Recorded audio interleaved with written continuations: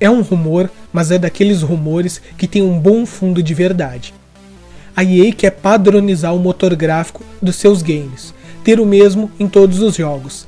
Need for Speed, Battlefield, Star Wars, Battlefronts e Dragon Age, eles usam essa Frostbite Engine.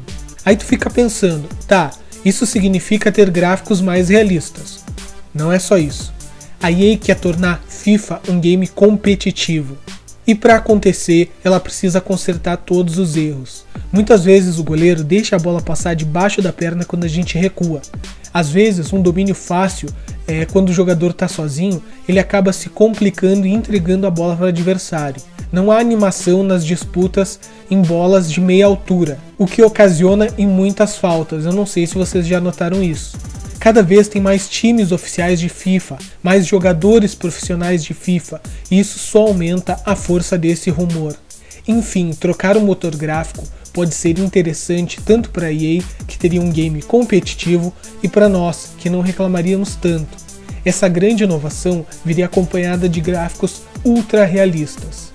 Esse foi o vídeo de hoje, pessoal. Eu fui.